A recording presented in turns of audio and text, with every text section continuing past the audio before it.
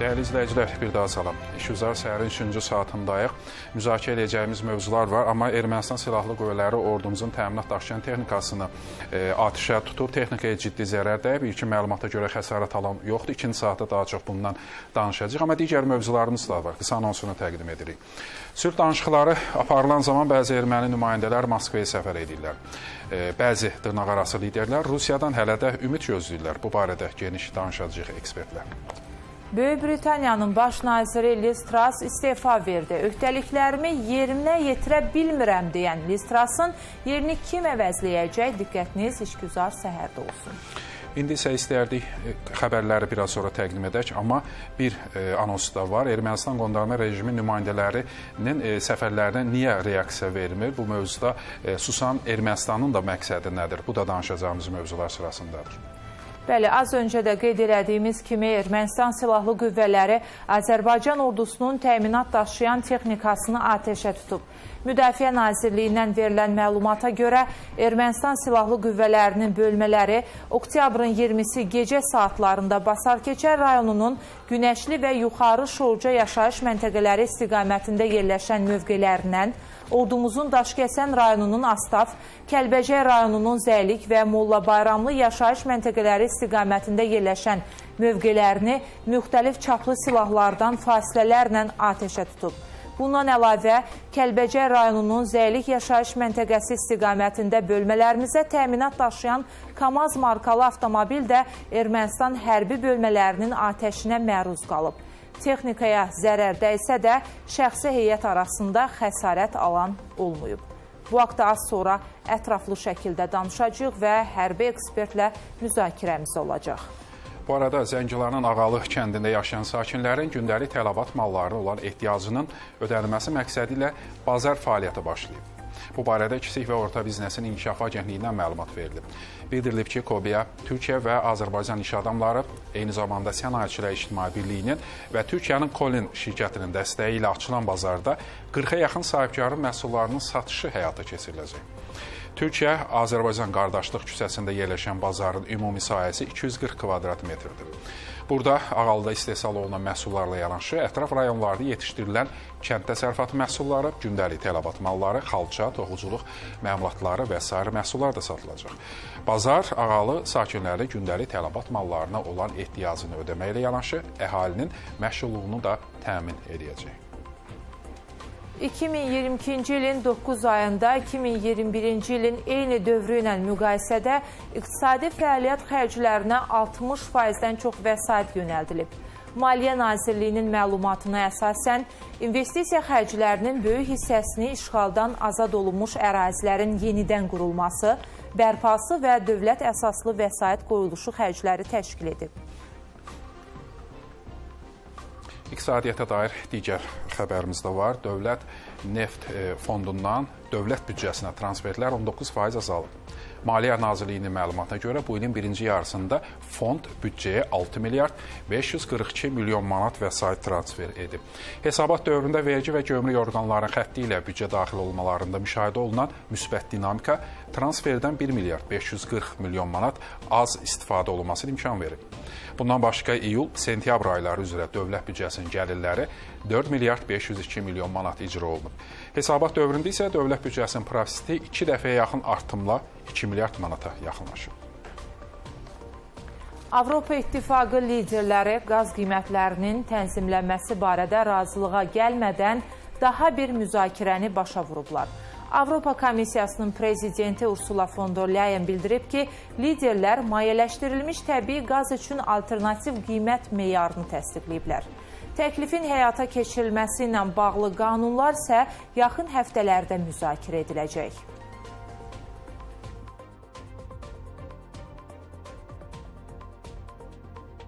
İcazə verin, intensiv müzakirə etdiyimiz bir neçə mövzuya diqqət yetirim. Birincisi, qazın birgə alışı ilə bağlıdır. Liderlər birgə satın alma üçün şirkətlərə konsorsiumlar qurmağa və gücləri birləşdirmək üçün birgə işləməyə icazə verən bu ideyanı daha çox dəstəklədilər. Bu, qaza olan tələbatla bağlı ümumi bazar gücümüzü artıracaq. Bu, irəliyə doğru böyük addımdır. Rusiya Avropaya qaz təchizatının 3də 2-sini azaldıb. Bu 100 milyard kub metrdən çox qaz təminatı deməkdir. Ancaq biz bu həcmi Birləşmiş Ştatlar və Norveç kimi digər təchizatçılarla tamamilə kompensasiya edə bilmişik. Komissiya bəzi ilkin təkliflər irəli sürdü.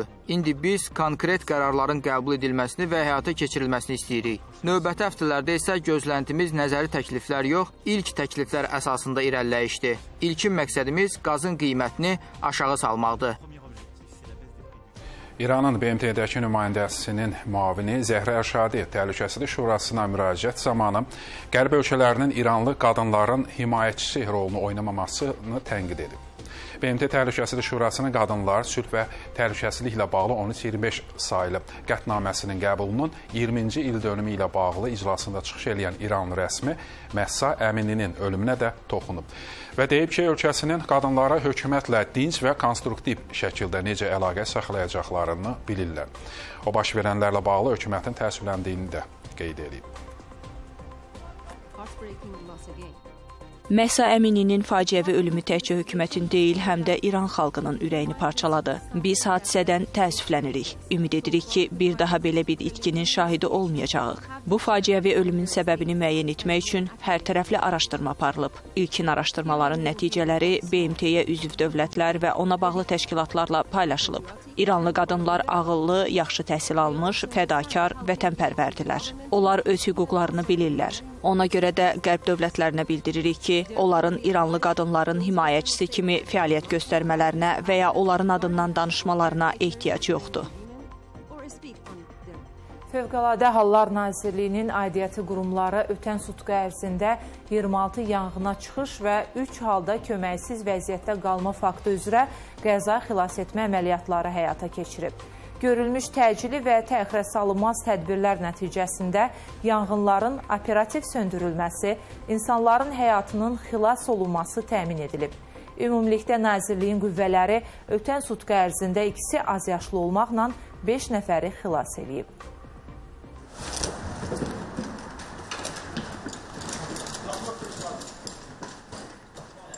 İndi isə keçək müzakirələrimizə biraz əvvəl qeyd elədiyimiz kimi ermənilər bu dəfə təminat daşıyan yük avtomobilimizi, hərbi avtomobili e, atışa tutub. Bu dəfə məqsədləri nədir? Onun müzakirəsini aparaq. Bəli, Telman Qasımovla ətraflı şəkildə danışacağıq. Hərbi ekspert, hər vaxtınız xeyir olsun. Telman bəy, salamlayırıq sizi. Hər vaxtınız xeyir. Xoş gördük. Telman bəy, az öncə biz xəbəri də tamaşaçılarımızın diqqətinə çatdırdıq. Yenə də Ermənistan təxribatları davam eləyir. E, bu dəfə həm də texnikamız hədəf alınıb və texnikamız zərər görüb. Əslində intensivləşən təxribatlar, xüsusilə də daha da geniş vüsət alan təxribatlar nədən xəbər verir? Aydın məsələdir ki, hələ artıq bir həftədən çoxdur Ermənistan silahlı qüvvələri daha da geniş aktivliklə alıblar daha da çalışırlar ki, Azərbaycan və Ermənistan sərhəddində vəziyyəti daha da gərginləşdirsinlər. Dünən də ayın 20-sində, oktyabrın 20-si idi ki, Basar Keçər rayonunun Günəşli və Yuxarı Şurca istiqamətlərindən, yaşayış məntəqələrindən Azərbaycan ordusunun silahlı qüvvələrinin Kəlbəcər istiqamətində olan mövqelərinə qarşı təxribatlar yenidən başlandı. Təbii ki, burada bir e, demək olar KAMAZ markalı avtomobilimiz Ermənistan tərəfindən hərbi bölmə tərəfindən atəşə məruz qalsa da şükürlər olsun ki, elə böyük bir canlı itki biz verməmişik. Təbii ki, Ermənistan-Azərbaycan sülh danışıqları prosesi lənk getdiyi bir halda belə bir şəraitdə Ermənistan daimi sərhəddə gücdən istifadə hallarından istifadə edərək təxribatlara əl atmaqla qarşıda sülh müqaviləsinin bağlanmasını ləngitməyə çalışır. Biz bu il bununla bağlı dəfələrlə artıq e, demək olar ki, proqnozlar vermişdik ki, bu belə hallar olacaqdır. Təbii ki, Ermənistan çalışır ki, burada həm də informasiya fonu yaratmaqla gündəlik təxribatlarını Azərbaycan üzərinə yazmaqla Azərbaycanı işğalçı kimi kimi qələmə verə bilsin. Bundan başqa Ermənistanın rəsmi və qeyri-rəsmi mənbələrə köklənərək Ermənistanın Azərbaycana qarşı həmin bütün bu informasiya hücumları həyata keçirməklə çalışır ki, Azərbaycanı müəyyən qədər o beynəlxalq ictimai qüvvələr var, nümayəndə qüvvə qurumlar var ki, orada Azərbaycanı gözdən salsın, hörmətdən salsın və üstəlik də ki, bilirsiniz ki, Avropa İttifaqının həmin o müşahidə qrupunun artıq Ermənistana səfər etməsi ərəfəsində və bütün bu proseslərin texniki işlərin aparılması fonunda ay Azərbaycanı yenidən e, demək olar ki, e, bütün bu hərəkətləri ilə Azərbaycana qarşı iftiralar yağdırsın. Təbii ki, hazırda Ermənistan tərəfi Azərbaycana qarşı nəinki silahlı təxribatlara, hətta e, belə desək ki, informasiya müharibəsi aparır və bununla da beynəlxalq aləmə öz yalanlarını təqdim etməyə çalışır. Getdikcə burada Ermənistan tərəfi bu prosesdə daha da aqressivləşir. Özümüz özümüz də müşahidə edirik və bunu çox gözəl dərindən görürük ki, həqiqətən də bu belədir. Ermənistan bu aqressiv danış, e, davranışları ilə fürsət düşən kimi e, hər hansı bir hərəkətini bəraət qazandırmaq üçün və yaxud da ki, e, gələcəkdə hər hansısa bir əməliyyat təxribat xarakterli əməliyyat həyata keçirəndə çalışacaq ki, burada artıq həmin o rıçaqlardan istifadə edərək e, demək olar ki, Azərbaycana qarşı iftiralarını yenə də davam elətdirsin. Təbii ki, indi burada e, həmin o sərhəd bölgələrində gedən bax bu proseslər bir daha onu göstərir ki, e, Ermənistan e, getdikcə çalışır ki, bu sülh müqaviləsi ə, mümkün qədər baş tutmasın, çünki getdikcə vaxt artıq daralır. Ə, demək olar ki, həmin o missiyanın gəlməsi və bu 2 aylıq burada o müşahidənin aparması nəticəsində budur ki, ə, həmin o sülh müqaviləsi mümkün qədər baş tutsun və Azərbaycan Ermənistan arasında bu sülh müqaviləsi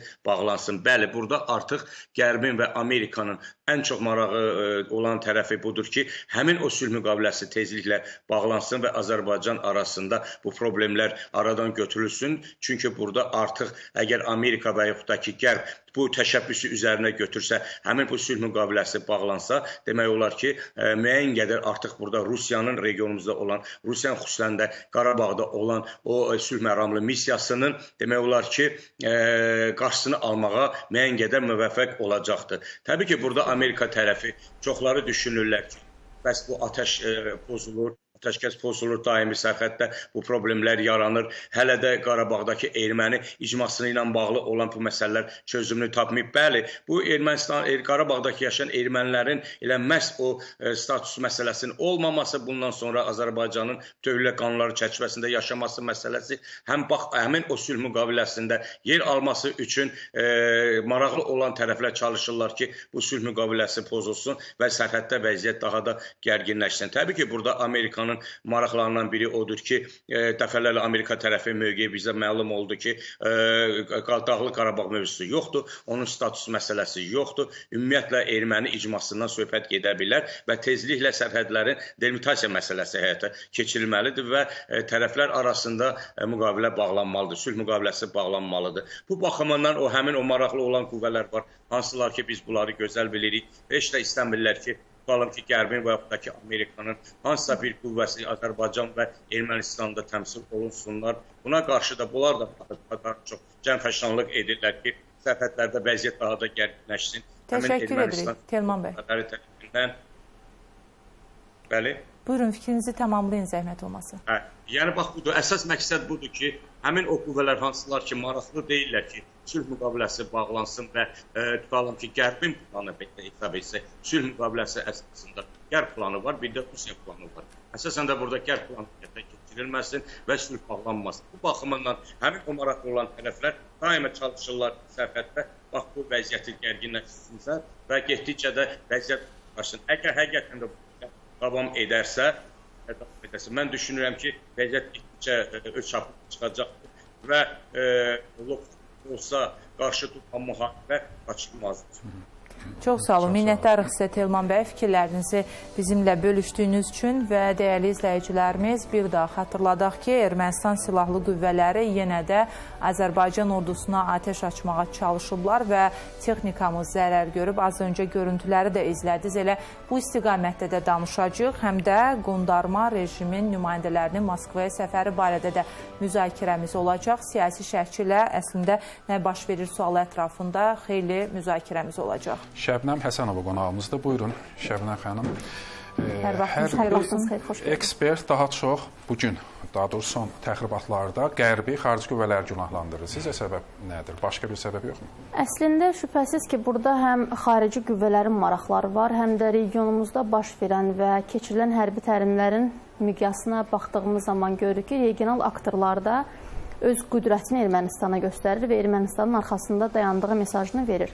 Təbii ki, bunlara toxunmadan öncə biz bildirməliyik ki, Azərbaycan hakimiyyəti birbaşa Paşinyanın qarşısında belə bir tələb irəli sürüb ki, heç bir halda qondarma rejimə və yaxud da o əraziyə, söhbət Xankəndidən gedir, heç bir səfər olmalı deyil və bu istiqamətdə Biz bir müddət öncə mediada, həm Azərbaycan mediasında, həm də erməni mediasında bu məsələnin işıqlandırıldığının şahidi olduq ki, güya Paşinyan Xankəndinə səfər edəcək, amma heç bir halda bu reallığa qovuşmadı.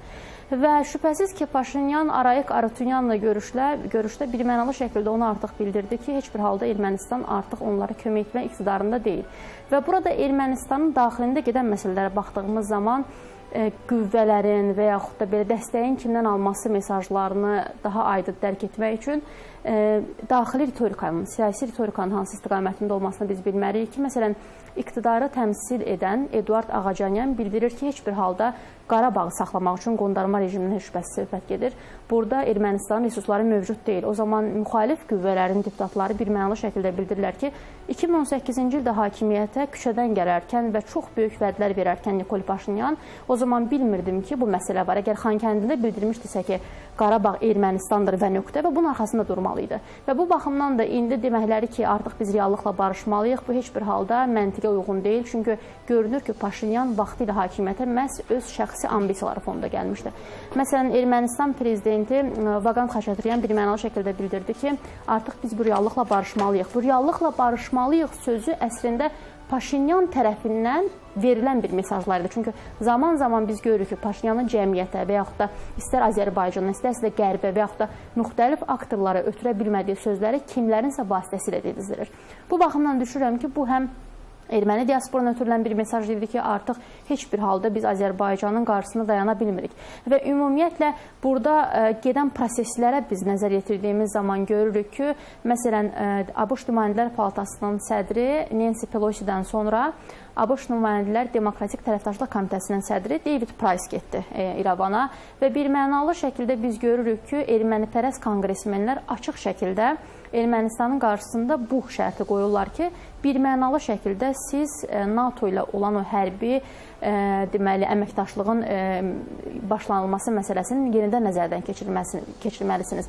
Əslində yenidən nəzərdən keçirilməlisiniz sözünün alt qatlarına indiyimiz zaman görürük ki, yəni Rusiyanın Gümrüdəki postu burada çıxmalıdır. Eyni zamanda kollektiv təhlükəsizlik müqaviləsi təşkilatı ilə olan əməkdaşlıq birmənalı şəkildə dayandırılmalıdır. Çünki biz bilirik ki, Nikol Paşinyan ilk öncə həmlə etdi ki, KTMT-nin missiyası ora getsin, amma birmənalı şəkildə KTMT üzv dövlətlərindən yox cavab aldıqdan sonra artıq Avropa İttifaqına dəvət etmiş oldu oldu. Və təbii ki, bu istiqamətdə biz görürük ki, İrəvana gələn dəstəklər həm ABŞ-dandır, həm də biz bilməli şəkildə bilməliyik ki, Qarabağ müharibəsindən sonra İran regionda bir neçə hərbi təlimlər keçirdi. Amma son biz təlimlərə baxdığımız zaman bu hər nə qədər rəsmi şəkildə İran tərəfindən bildirilsə də ki, adı qüdrətli İran olan hərbi təlim bu illik plan üzrə keçirilir. Amma biz baxırıq ki, Araz çayı boyunca keçirilməsi, bura yüksək səviyyəli silah sursatın, texnikanın cəlb olunması sözün hər mənasında təlimin geniş miqyası olmasından xəbər verir. Eyni zamanda Zəngəzur hava limanı açılmadan öncə həm e, Türkiyənin siyasi ritorikasına baxırıq, həm də cənab prezidentin ritorikasına baxırıq ki, bir birmənalı şəkildə Zəngəzur dəhlizi ilə bağlı burada açıqlamalar verilir. Yəni heç bir halda dörd tərəfli görüş, üç tərəfli bəyanatla üzərinə götürülən öhdəliklərdən yayınma demək deyil. Zəngəzur dəhlizi hələ də aktivdir, hələ də aktualdır. Bu məsələ həm Azərbaycanın, həm Türkiyənin və düşünürəm ki, geniş kontekstdə Rusiyanın da maraqları daxilindədir. O baxımdan artıq e, deməli e, İrəvanın dəstək alması həm sizin qeyd etdiyiniz kimi ABŞ-dandır, Qərbdəndir. Burada söhbət heç şübhəsiz gedir.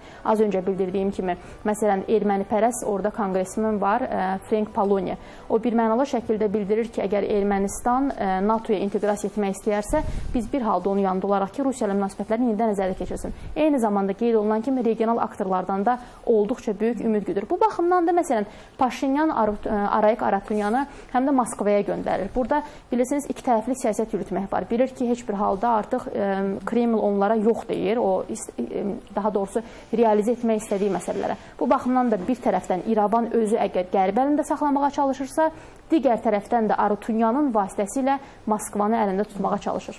Şəbnəm xanım, əslində bir sıra məsələlərə toxundunuz, amma təxribatı da nəzərə alaraq sırf bu istiqamətdən istəyərdim ki, müzakirə aparaq. Çünki Ermənistan artıq günlərdir ki, eyni istiqamətlərdə müxtəlif təxribatlar törədir və açıqlamalar da aşağı-yuxarı ondan ibarətdir ki, bunun səbəbi sülhü gecikdirməkdir. Brüssel formatında müəyyən e, sülhlə bağlı razılıqlar əldə olunmuşdu, amma indiki mərhələdə görünən ondan ibarətdir ki, gedişat sülhə doğru getmir Bəli. E, və tamamilə başqa bir məcraya keçib. Bu mərhələdən sonra hər hansı bir sülh danışığının reallaşdırılacağı nə qədər real görünür? Hadisələrin hər bir inkişaf tendensiyasında biz sülh müqaviləsinin aktuallığını gündəmə gətiririk. Bu heç bir halda əgər Ermənistan təxribat törədirsə, sülh müqaviləsindən yayınmaq kimi bir məsələ yoxdur. Çünki bilirik ki, hər bir görüşdən sonra Paşinyan üzərinə götürmüş olduğu öhdəlikləri pozur.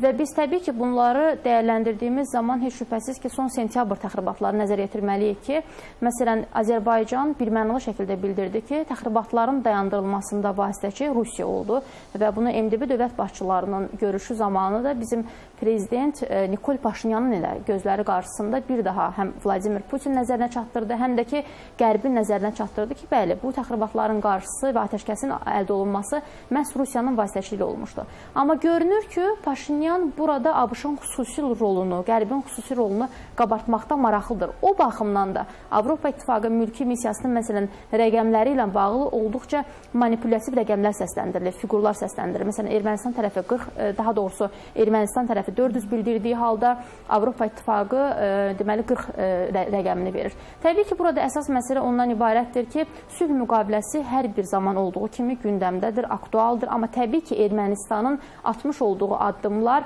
bunun gecikdirilməsidirsə, gecikdirilməsi istiqamətində daha çox nə qədər dividend əldə edəcə, e, edə bilməsi ilə bağlıdır. Çünki bilirik ki, az öncə mənim qeyd etdiyim o daxili ritorikada səsləndirilən məsələlər, məsələn, oradakı deputatlar bildirir ki, erməni iqtidarına bağlı dövlətlər 25% orada heç şübhəsiz ki, sülh məramlarının getdiyi deməli məntəqə nəzərdə tutulur. 25% ilə bağlı biz hələ də bu məsələləri gündəmdə saxlayırıq. Onların azadlıqları, deməli, insan hüquqları bizim üçün olduqca vacibdir. Amma eyni zamanda digər tərəfdən də Paşinyan heç bir halda Arutunyana hər hansı bir məsələ ilə bağlı onlara kömək edəcəyi ilə bağlı bir ümid vermir. Bu baxımdan düşünürəm ki, hər bir halda uzatma siyasətinə gedirlər. Çünki uzatma siyasəti sadəcə burada regional aktorlarla bağlı deyil, Türkiyə ilə Azərbaycanla bağlı deyil. Türkiyə ilə Azərbaycanın mövqeyi zaten bəllidir. Koordinasiya şəkildə biz siyasət yürüdürük.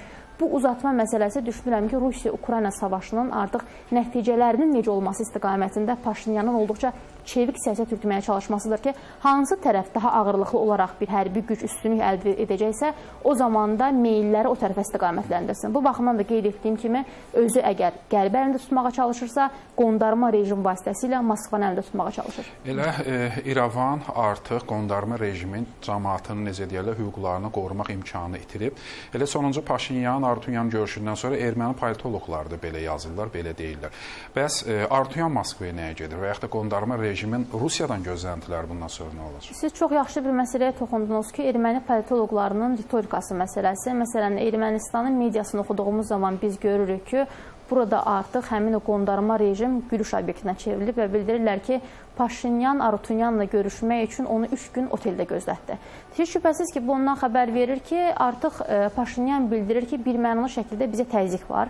Təzyiq həm Azərbaycan tərəfindəndir, həm Türkiyə tərəfindəndir ki, mən az öncə bildirdiyim, məsələn, Zəngilan hava limanının açılmasından öncə e, bir mənalı şəkildə Ərdoğan bildirdi ki, heç bir halda Zəngəzur dəhlizinin reallaşması ilə bağlı biz bir problem görmürük. Bu baxımdan həm də Türkiyə ilə Rusiyanın artıq ortaq mövqedən çıxış etməsi, regional məsələlərlə bağlı və mən xüsusilə burada vurğulamalıyam ki, Zəngilan hava limanının açılışı zamanı birmənalı şəkildə Ərdoğanın artıq qərbi tənqid etməsi, olduqca qərb təsisatlarını tənqid etməsi fonunda düşünürəm ki, Arutunyanın Moskvaya pənah aparması həm də Moskvanı əlində saxlaması baxımından və yaxud da Türkiyə ilə, ilə olan normallaşma prosesində daha da kritik durumda qalmaması baxımından atılmış olduqca hiləgər bir siyasətdir. etc. Təbii ki, Paşinyanın artıq verdiyi mesajlar və tutduğu mövqe birmənalı şəkildə ondan xəbər verir ki, o Qərbin tərəfindədir.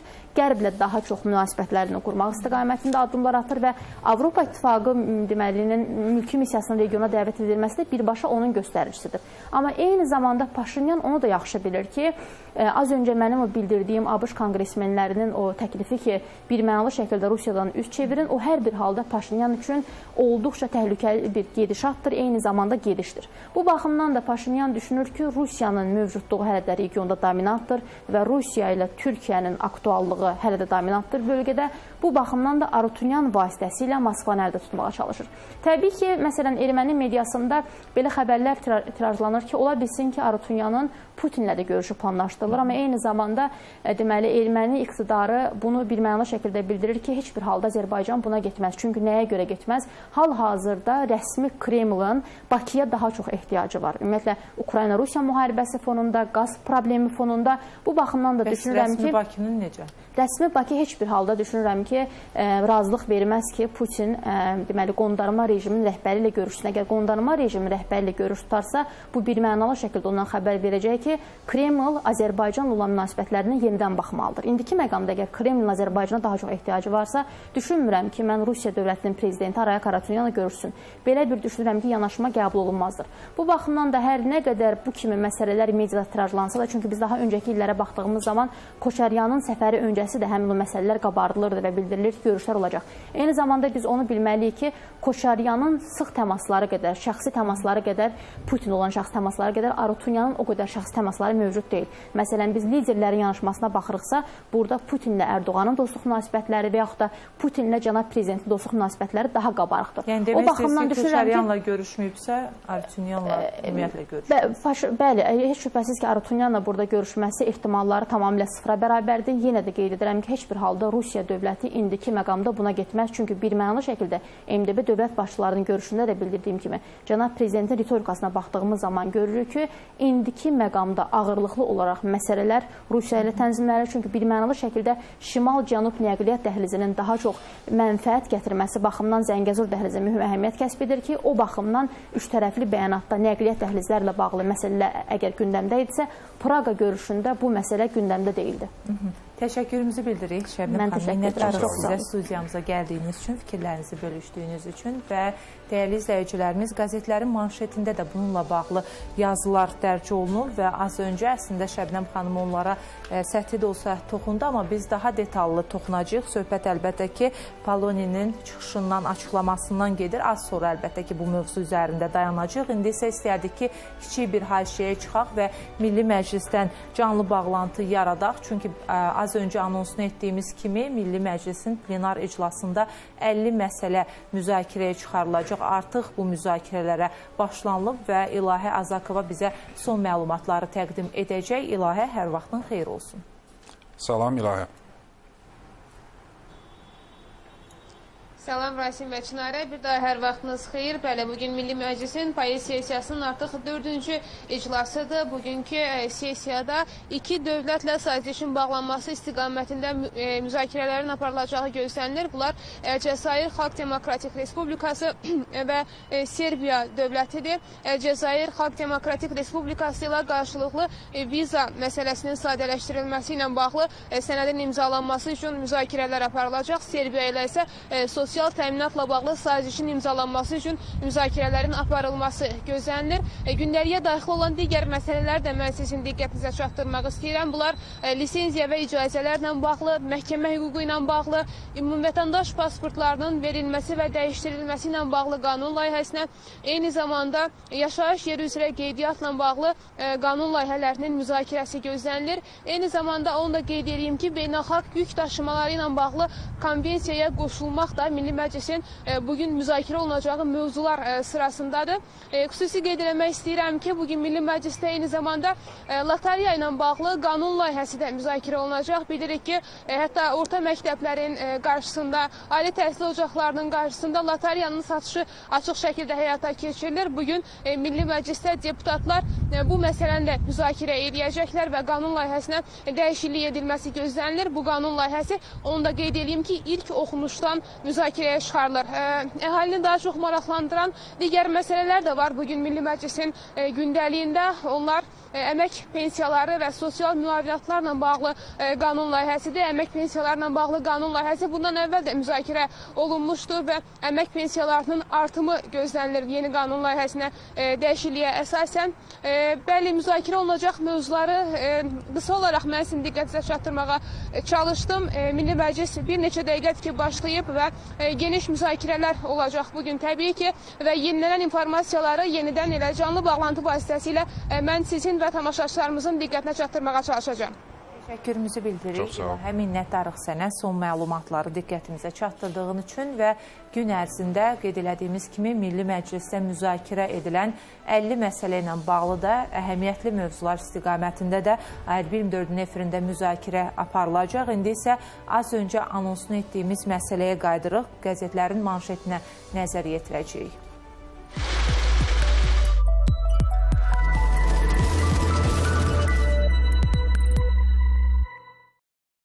Biraz əvvəl siyasi şərhçi də e, ermənipərəst konqresmen Poloniya barədə danışdı və sərhəddə baş verən proseslər, Ermənistanın təxribata cəlb olunması, onun və digər konqresmenlərin rolundan da danışdı. Elə qəzetlərdə də bununla bağlı bir araşdırmalar var, istəyərdik ki, onları çatdıraq. Bəli, Bakı Xəbər qəzetinin 8-ci səhifəsinə nəzər yetiririk. Az öncə də vurğuladığımız kimi konqresmen Poloniya Qərbin Qarabağda muxtariyyət planlarını ağzından qaçırdı. Sərlövhəli yazıda nələr bildirilir? Bu haqda detallı danışacağıq. 8-ci səhifədə isə daim ermənipərəst mövqeyi ilə seçilən konqresmenin Ermənistanın ictimai televiziyasına müsahibəsindəki məqamlar təhlil edilib. Belə ki, Poloniya adı çəkilən ölkənin Rusiyadan imtina edib qərbə meylənməsini vacib sayıb. O hesab edir ki, Ukraynadakı müharibə nəticəsində resursları tükənən Rusiya bundan sonra Ermənistana fayda verə bilməyəcək. Qərbin Qarabağla bağlı tənzimləmə planına toxunan Poloni onu da e, effektiv saydığını bəyan edir. Nəşrin yazdığına görə eyni zamanda Konqres üzvü Qərbin belə demək olarsa yol xəritəsində Qarabağa muxtariyyət verilməsinin prioritet olduğunu da xüsusilə vurğulayır. Bu məsələ isə Azərbaycan üçün bağlanıb. Hər birimiz bilirik ki, dəfələrlə ölkəmiz açıq şəkildə bəyan edib ki, hər hansı bir statusdan söhbət gedə bilməz və bu mümkünsüzdür. Rəyi soruşulan siyasi şərhçilər Birləşmiş Ştatlardakı erməni diaspora ilə Rusiyadakı ermənilər arasındakı ciddi fikir ayrılığı olduğuna da diqqət çəkirlər. Poloniya gəldikdə isə o daha çox erməni diasporunun çirkli pullarından faydalanan bir şəxs kimi bəzi şeyləri təhlil edir. Qəzet Qərbin Ermənistana yanaşmamıza müdaxilə, eləcə də Minsk qrupunu dirçətmək planlarına da xüsusən toxunur. Yazır ki, bunun baş tutmadığını görür rəsmi Vaşinqton Avropa İttifaqı Şurasının vasitəçiliyi ilə keçirilən görüşlərə qısqanclıqla yanaşır. Bir sözlə şərhçilər düşünür ki, Birləşmiş Ştatların Qarabağı muxtariyyətlə bağlı istəkləri həyata keçirilməyəcək. Bir sözlə, ermənipərəst konqresmenlər əslində hesab eləyirlər ki, Ermənistan indiki mərhələdə Rusiyadan uzaqlaşmalıdır və qərbə daha çox yaxınlaşmalıdır və Ermənistanın siyasətini təhlil etdikdə biz eyni meyllərin müşahidə olunduğunun şahidi oluruq və bu istiqamətdə müxtəlif ekspertlərin də rəylərini az öncə diqqətinizə çatdırdıq.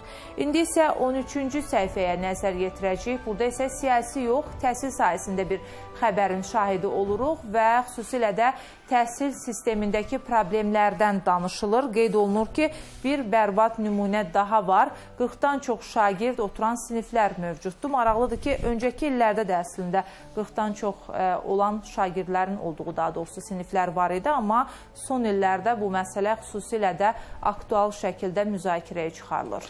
Özdə maraq doğuran məsələ odur ki, bu sıxlıq məhz paytaxt Bakı məktəblərindədir.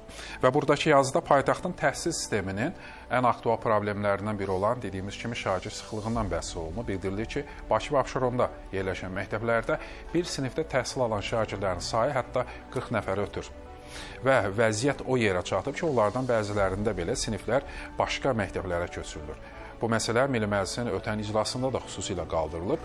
Orada səslənən təkliflər arasında məktəblərdə yeni korpusların tikilməsi də var. Qəzet yazır ki, Nazirlər Kabineti 2020-ci ilə aid olan qərarına əsasən dövlət ümumi təhsil müəssisələrində sinif üzrə şagird sayı 30 nəfərdən çox olduqda paralel qrup təşkil olunmalıdır. Təmayüz siniflərdə isə maksimum 15-20 şagird təhsil ala bilər. Ekspertlər isə təklif eləyirlər ki, hər sinifdə maksimum 20-25 şagirdin təhsil alması təmin olunsun və paralel sinif açılanda isə ora yeni müəllimlər təyin edilməlidir. Daha bir təklif isə regionlarda təhsilin keyfiyyətinin artırılmasıdır və bunun üçün rayon mərkəzlərində nümunəvi liseylərin yaradılmasının da vacibliyini ekspertlər xüsusilə qeyd edirlər.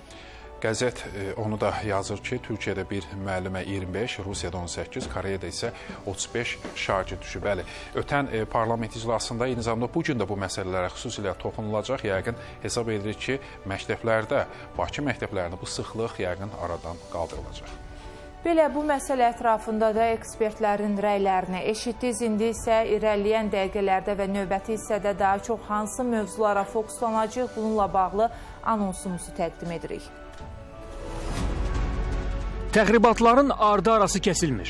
Hər gün atəş səsləri gəlir. Ermənistan silahlı qüvvələrinin hərəkətliliyi nədən xəbər verir? Geniş təhlil işgüzar səhərdə. Türkiyə Mərkəzi Bankı uçot dərəcəsini 10,5%-ə indirdi. Lirənin aqibəti necə olacaq? Birazdan daha ətraflı. Stardan da göründüyü kimi, hələ Britaniyada da siyasi çəkişmələr daha da artıb. Belə müzakirə edəcəyimiz, danışacağı məsələlərdən biri də bu olacaq. 45 gün hakimiyyətdə qalan Liz Truss istefa verdi. Hakim Mühafizəkarlar Partiyasına liderlik eləyən Truss öhdəliklərini yerinə yetirə bilmədiyi üçün bu qərarı verdiyini açıqladı. E, lakin e, bir ağ papaqlı gənc qadın istefa etdi deyəcək e, söz çox söz yoxdur. Düzü onlar orada nə eləyirlər, parlamentdə nələr baş verir, sakin və digər bir sujet də var. İstəyərdik ki, elə sujetdə də o sakinlərindən bəzi məlumatlar paylaşıb onları sizə çatdıraq. Mr. Speaker, Mən döyüşçüyəm və imtina edən deyiləm. Mən iqtisadi sabitliyi təmin etmək üçün milli maraqlardan çıxış etmişəm. Çərşənbə günü parlamentdə müxalif işçi partiyasının lideri Kir Starmerin ittihamlarına qarşı bu sözləri işlədən Böyük Britaniyanın baş naziri Liz Truss istefa verib. Hakim Mühafizəkarlar Partiyası Və daha çox müzakirəyə çıxaracağımız mövzulardan biri də məhz Britaniyada baş verən siyasi çəkişmələrdir. 44 gün hakimiyyətdə qalan Liz Truss istefa verdi. İstefanın səbəbi nədir? Bir sujet izləyək, sonra elə bu barədə də biz ekspertlərlə müzakirə edəcəyik. Mən döyüşçüyəm və imtina edən deyiləm. Mən iqtisadi sabitliyi təmin etmək üçün milli maraqlardan çıxış etmişəm. Çərşənbə günü parlamentdə müxalif işçi partiyasının lideri Kir Starmerin ittihamlarına qarşı bu sözləri işlədən Böyük Britaniyanın baş naziri Liz Truss istefa verib. Hakim Mühafizəkarlar Partiyasına liderlik edən Truss öhdəliklərini yerinə yetirə bilmədiyi üçün bu qərarı verdiyini açıqlayıb. Mən etiraf edirəm ki, vəziyyəti nəzərə alaraq Mühafizəkarlar Partiyası tərəfindən seçildiyim mandatı yerinə yetirə bilmirəm. Buna görə də mən Əlahəzrət Kralla danışdım ki, Mühafizəkarlar Partiyasının lideri vəzifəsindən istefa verdiyimi bildirsin. Bu səhər mən 1922-ci il komitəsinin sədri Ser Graham Brady ilə görüşdüm. Biz razılaşdıq ki, gələn həftə liderli seçkilər olacaq. Bu, bizim fiskal planlarımızı yerinə yetirmək, ölkəmizin iqtisadi sabitliyini və milli təhlükəsizliyini qorumaq yolunda addımlamağımızı təmin edəcək. Varis seçilənə qədər baş nazir kimi qalacam. 45 gün baş nazir vəzifəsini icra edən Liz Truss'ın istefası bir çox insanlarda çaşqınlıq yaratsa da, bəziləri bunu gözlənilən hadisə kimi qiymətləndirir. Resigned. Deyəcək söz çoxdur. Düzü onlar orada nə edirlər? Parlamentdə nələr baş verir? Bu tamamilə xaosa səbəb olacaq. Əfsus ki, hər şey lap əvvəldən qəbul edilmiş yanlış qərarlar ucbatından baş verdi. 1997-ci ildən 2010-cu ilədək baş nazir vəzifəsini İşçi Partiyasının iki nümayəndəsi icra edib. 2010-cu ildən Mühafizəkarlar Partiyasının ardıcıl olaraq 4 namizədi Birləşmiş Krallığın baş naziri seçilib və 12 il ərzində söz sahibi olublar. Mühafizəkarların sonuncu lideri olan Liz Truss isə baş nazir postunda ən az qalmış şəxs kimi Böyük Britaniya tarixinə düşüb. Son 25 ildə vəzifədə ən uzun qalmış baş nazir İşçi Partiyasından Tony Blairdir. David Camerondan sonra isə vəzifə vəzifəyə seçilən nazirlərin posta qalma müddəti azalan intervalda davam edib. Böyük Britaniyada baş verən proseslərlə bağlı elə istəyərdik ki, oradan bağlantı yaradaq və Britaniyadan siyasi iqtisadi e, icmalçı Oxford Cambridge klubunun üzvü ilə danışacaq. Zaur Məmmədov bizimlə hazırda canlı bağlantıdadır. Zaur bəy, hər vaxtınız xeyir olsun. Xoş gördük sizi. Salam, hər vaxtınız xeyir. Zar bəy, artıq Trasın e, vəzifədən getməsindən sonra 5 real namizəd də var. E, istərdik ki, onlardan daha çox hansılar e, daha reytinglidir? Ümumiyyətlə Britaniyada nə baş verir? Eşidək sizi.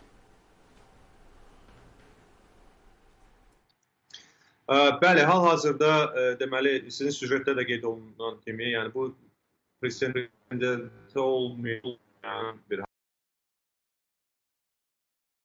bir müddətdə Birincisi, birincisi iqtisadi kursunun dəyişdirilməsi, dəyişməsi, sonra da vəzifədən getməsi bu ümumiyyətlə Avropa siyasətində çox yəni rast, rast gələn bir hadisə deyil.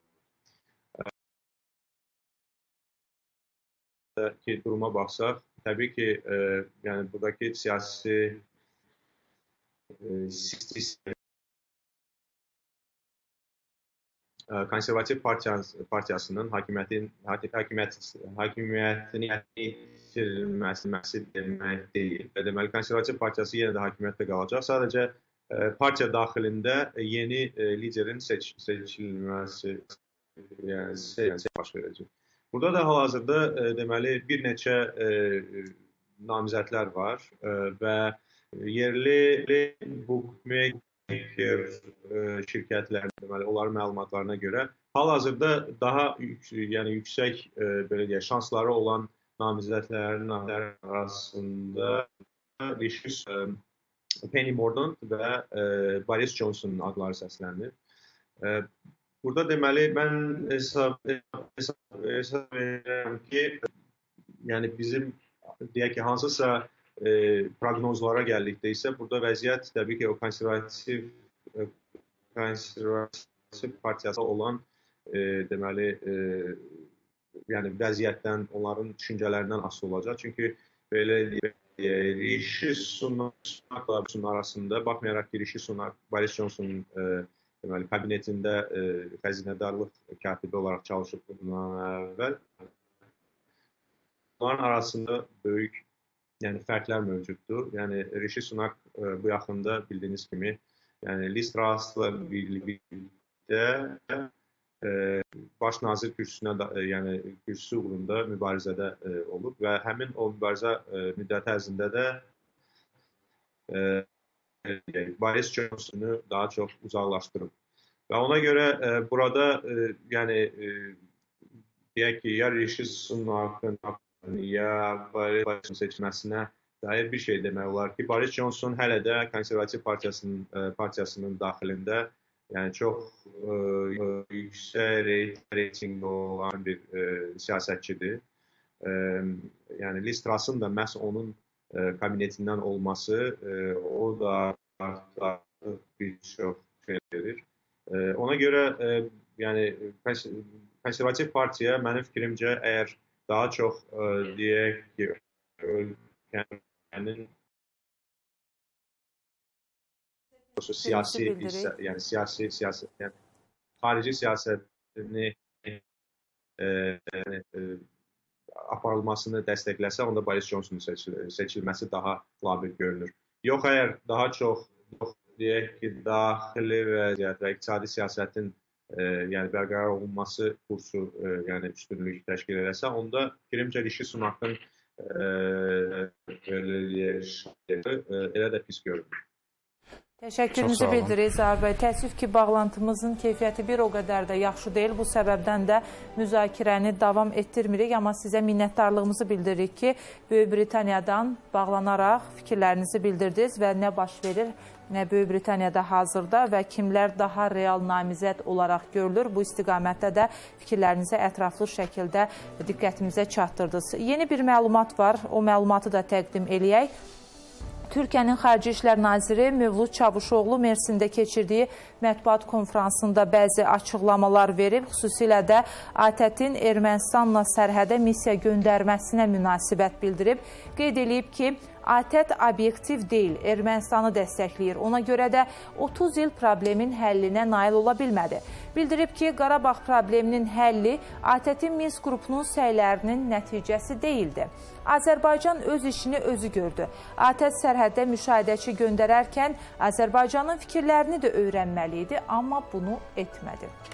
Və qeyd elədiyimiz kimi Milli Məclisin icrası da artıq başlayıb təxminən yarım saatdır və bəzi cari məsələlərə toxunulub. Hal-hazırda millət vəkilləri elə dünən e, Zəngilanda baş verənlər e, hər iki dövlət liderinin bircə iştirakı müzakirə mövzusudur.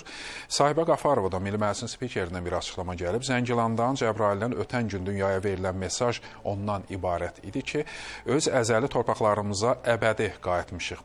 Ötən gün Türkiyə və Azərbaycan dövlət başçılarının görüşü və vacib layihə layihələrin başlaması, e, təntənəli bəzi təməllərin qoyulması, təntənəli açılışlar bir daha onu göstərdi ki, qardaş ölkə bu günə qədər Azərbaycana siyasi dəstək verməyə hazırdır. Və daha bir açıqlama Milli Məclisin vitse-spikeri, İctimai Birliklər və Dini Qurumlar Komitəsinin sədri Fəzail İbrahimlidən gəlib. Qeyd edib ki, son günlər Azərbaycana qarşı Avropada bir kabus dolanırdı. Sanki mənfur baxışlar güclənmişdi. Son iki gündə ölkəmizdə keçirilən tədbirlər həmin iti caynaqlara bir mesaj olaraq qəbul edilməlidir. Və iqtisadiyyata dair bir məlumatımız var. Bu isə İqtisadiyyat naziri Mikayıl Cabbarovdan gəlib. Qeyd edib ki, bu il oktyabr ayının 1-nə mövcud kreditlər üzrə faizlərə subsidiyalaşdırılması mexanizmi üzrə kredit qallığı təxminən 859 milyon manat olmaqla 5 milyard 5 mindən yuxarı müraciət daxil olub və ümumi məbləğ isə 70,4 milyon manatdır və 5 e, artıq kredit üzrə sahibkarlar 6 66,6 milyon manat faiz subsidiyası üzrə ödəniş həyata keçirilib, nazir belə deyib. Bir daha vurğulayaq ki, Milli Məclisin hazırda plenar iclası davam edir və deputatlar e, ATƏT-in missiyasının göndərilməsi ilə bağlı məsələyə öz münasibətlərini bildirirlər. ATƏT-in qeyri-qanuni olaraq Ermənistana qiymətləndirmə missiyası göndərməsinin heç bir əsası yoxdur.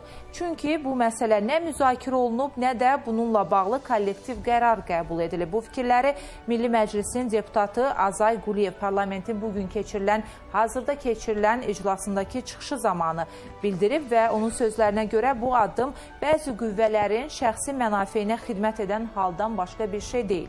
Bu addımın heç bir siyasi təsiri olmayacaq. ATƏT-in Minsk qrupunun bu addımı heç bir halda təşkilatın təməl prinsiplərinə uyğun deyil. Bu çox ölkələr də, bir çox ölkələr də bu missiyanın əhəmiyyətinin olmadığını qeyd eləyəcəklər deyə Azay Quliyev öz açıqlamasında vurğulayıb. Dünya ictimaiyyətinin diqqəti eyni zamanda İndoneziyada böyük 20-lərin toplantısına və orada Rusiya-Ukrayna prezidentlərinin görüşünə yönəlib. Bəzi dövlət başçıları, siyasilər e, hesab edirlər ki, hər iki liderin görüşü baş tuta bilər. Bununla bağlı bir açıqlama var və İndoneziyanın Rusiyadakı səfiri Jose Tavares deyib. O hesab edir ki, e, rəsmi Jakarta samitdə Rusiya prezidenti Vladimir Putin və e, Vladimir Zelenskinin görüşlərini təşkil edə bilər və biz buna ümid edirik. Siyasətçi belə belə deyib. Bir məlumatı da diqqətinizə çatdırırıq. Cəbrayıl rayonunda yaradılacaq Azərbaycan-Türkiyə dostluq meşəsinin sahəsi 20 hektara yaxın olacaq. Bunu Ekologiya və Təbii Sərvətlər Nazirinin müavini Vüqar Kərimov deyib. Onun sözlərinə görə meşə Azərbaycan-Türkiyə Beynəlxalq Meşə Təlimi Mərkəzi Ağıllı Tinkçilik və Dostluq Meşəsi komplekslərinin ərazisində yaradılacaq. Ön hissədə 40 hektar ərazidə teraslarda meşəlik salınacaq. İndi isə istəyərdik əməkdaşımız Loğman Avasla e, qoşulaq və o Zəngilandan bizə məlumat verəcək. E, hava limanında hal-hazırda iş, işlər görülür. Bundan sonra orada daha nələr reallaşdırılacaq və məqsədlər nədir? Loğman, hər vaxtın xeyir. Salamlayırıq səni Loğman. Hər vaxtınız xeyir olsun Rasim Çinarə. Bəli, Zəngilan hava limanındayıq hazırda və bilirsiniz, dünən burada bu hava limanının çox möhtəşəm bir açılışı oldu.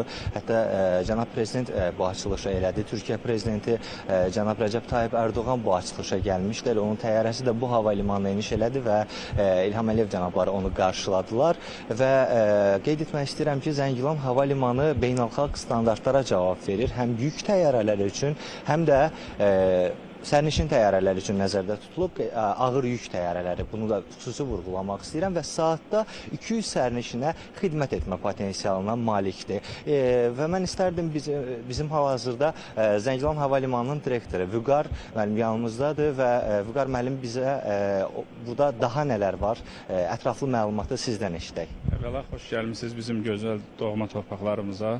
Ümumi olaraq e, e, Zəngilan Beynəlxalq Hava Limanı bu ilin əvvəlində təməli qoyulmuşdu. 8 ay sonra cənab prezidentin iştirakı ilə açılış olmuşdu. E, aeroportun terminal binası 5000 kvadrat kilometr təşkil edir. Terminal daxilində VIP otaqlar, VIP otaqlar, kafe, tibb məntəqəsi fəaliyyət göstərir.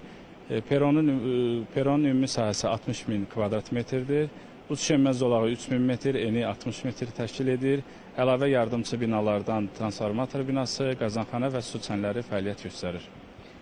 Təşəkkür edirəm. Mən bildiyim qədərilə siz özünüz də Zəngilanlısınız və e, illər sonra, 30 il işğaldan sonra Zəngilanda yenidən qayıtmaq, e, Zəngilanda xidmət etmək necə bir duyğudur, necə bir hissdir? Çox xoşbəxtəm və sevincliyəm ki, uzun uzun bir müddətdən sonra, illərdən sonra bura gəlib, burada dövlətimizə, millətimizə fəaliyyət göstərmək, xidmət göstərmək böyük bir fəxrdir bizim üçün. Təşəkkür edirik Vüqar bəy. Sizə fəaliyyətinizdə uğurlar arzu edirik və hələlik buradan çatdıracaqlarımız bu qədər. Bildiririk, Loğman minnətdarıq sənə. Dəyərli izləyicilərimiz qeyd eləyək ki, əməkdaşımız Loğman Avaz Zəngilandan son məlumatları diqqətimizə çatdırdı. Xüsusilə də Zəngilan Beynəlxalq Hava Limanında görüləcək işlərlə bağlı qısa da olsa xatırlatma edildi. Biz isə bu hissəni yekunlaşdırırıq. Qısa fasilədən sonra yenidən qarşınızda olacaq. Gözünüz bizdə olsun.